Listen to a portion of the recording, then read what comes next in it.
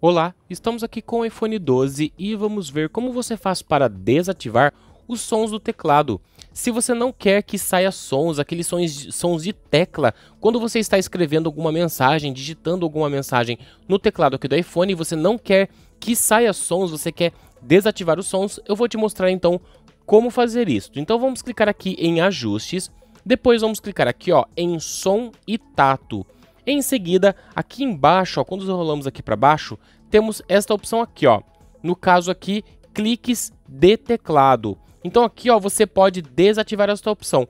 Ao você desativar esta opção, quando você abrir aqui o teclado, ele não fará mais nenhum som de tecla, tá? Então, para você ativar e desativar, você vem em som e tato e aqui tem a opção cliques de teclado que vai desativar totalmente os sons do teclado, tá? Então é desta forma que você ativa ou desativa os sons do teclado aqui no iPhone 12.